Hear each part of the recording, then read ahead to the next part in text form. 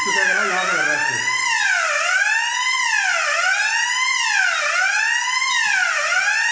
यहाँ से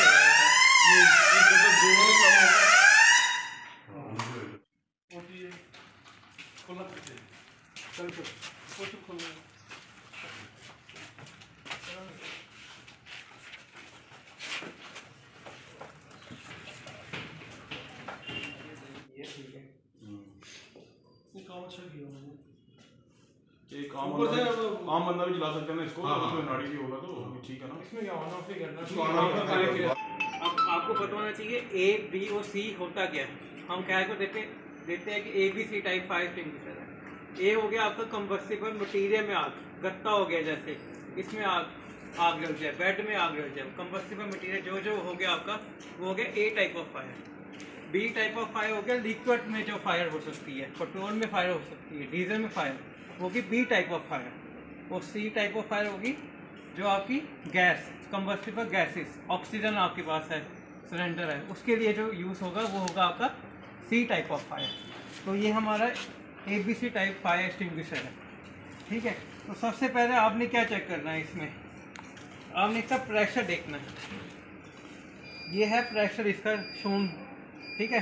ये ग्रीन में होना चाहिए। ये अभी ग्रीन में है तो यूज़ करना है। ग्रीन में नहीं है तो इसको कभी भी यूज़ नहीं करना। डेंजर भी हो सकता है। तो ये पंप है। हाँ ये पंप है तो इस ध्यान से यूज़ करना है। तो सबसे पहले चेक करना है कि ये ग्रीन में है या नहीं है। फिर इसका प्रोसेस होता है पहले ये पिन निकालनी है फिर इसको निकालना है। उसमें ऐसे आगे पकड़ के स्वाइप करना है। वो अब हम आपको दिखाएँगे। तो आपको बेसिक पता चल गया इसका A B C type of fire तो कभी आप देखोगे ए बी सी अब आपको समझ आ गया ए बी सी होता गया हाँ। ए हो गया combustible material solid material solid B हो गया कंबस्टिबल लिक्विड एंड सी हो गया कंबस्टिबल नहीं बाय डिफ़ॉल्ट अगर रेड है तो ये वर्किंग में नहीं है। ये चीज़ हाँ। ये ग्रीन में ही। ग्रीन में बेसिकली ये प्रेशर बता रहा है। इससे कम प्रेशर में ये काम नहीं कर रहा है इससे ज़्यादा प्रेशर में ये बस्ट हो सकता है कितना पहले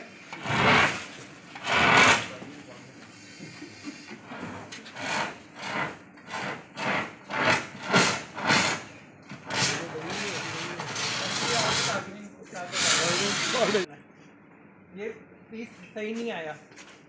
नहीं, जब होगा कब यहाँ बहुत ठंडा हो जाएगा, आपके हाथ चिपक सकते हैं। ठीक है? इसलिए इसके लिए ये बना हुआ है। आप, जैसा कि आप जानते हैं, इस समय फायर सर्विस वीक चल रहा है हमारा जे के फायर सर्विस में 14 टू 20 अप्रैल तो उसी की बेसिस में हम यहाँ पर हॉस्पिटल में विज़िट किया हमने आज यहाँ पर। यहाँ पर हॉस्पिटल में हमने देखा होस रीर होस इंस्टॉलेशन की गई है। स्मोक डिटेक्टर्स लगाए गए हैं। C type of fire extinguisher A B C type of fire extinguisher इन्होंने इंस्टॉल किया है। फायर अलार्म सिस्टम भी हमने चला के चेक किया और काफ़ी अच्छी वर्किंग कंडीशन में हमें पाएगा चल रहा है कि जब भी फायर सेफ्टी को कभी भी इग्नोर नहीं करना चाहिए। आजकल काफ़ी हॉस्पिटल हम देख रहे हैं कि फायर इंस्टॉलेशन को काफ़ी सीरियसली लिया जा रहा है और डॉक्टर साहब ने भी इसको बहुत ही सीरियस वे में कंसिडर किया है और काफ़ी अच्छी इंस्टॉलेशन की है। होस्ट फिर होस्ट की मैंने देखा जो इसकी होस्ट है लेंथ है, काफ़ी अच्छी लेंथ थी कि वो पूरा कवर अप हो पा रहा है। पूरा हॉस्पिटल कवर अप हो पा रहा है। और कभी आग की सिचुएशन आएगी तो मुझे विश्वास है कि डॉक्टर डॉक्टर साहब की टीम आग को अच्छे से काबू कर पाएगी। और साथ ही इनको हम ये कहना चाहते हैं कि एक बोर्ड लगाए जहाँ पर हमारे फायर स्टेशन का नंबर भी डिस्प्ले होना चाहिए, ताकि एक को आग में कंट्रोल वो भी पाएगा, लेकिन मेन काम को हमारा ही रहेगा, फिर भी आग को कंट्रोल पाने के लिए को एक एक फायर स्टेशन का नंबर भी इंस्टॉल करना चाहिए। और हमारे हायर ऑप्स ने बड़ा ही कोऑपरेट किया और पहले सर आए भी थे यहाँ हमें डेमो देने के लिए, तब हमारे पास ऐसा सिस्टम नहीं था। तो तभी मैंने बोला था कि मैं कोशिश करूँगा कि यहाँ पे पूरा सिस्टम इंस्टॉल किया जाए।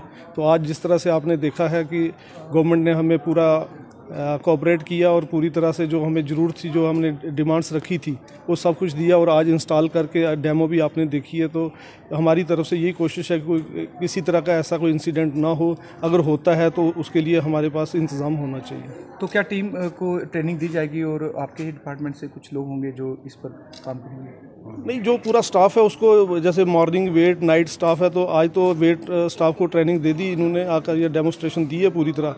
और कल रिक्वेस्ट है कि जो मॉर्निंग स्टाफ होगा उसको भी हमारे जो फायर ब्रिगेड से आए तो ये वहाँ भी हमें कोऑपरेट करेंगे। वैसे भी इनका हमें पूरा साथ मिलता रहता है। ठीक है थैंक यू